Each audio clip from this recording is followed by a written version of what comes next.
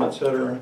But with, with regard to hostile questions, it said, never debate the questionnaire, instead determine areas for agreement and focus on them. So if there was the one area that I would suggest an area for improvement was in dealing with Jack's question, because I felt that was a, um, a debate as opposed to where is that, in that question, there must be something I agree with him on. I know that might have been a challenge, but if you could have found something you agreed with him on, then you'd focus on that aspect of the question and answer that. I thought that was an interesting point. I don't know if it always works.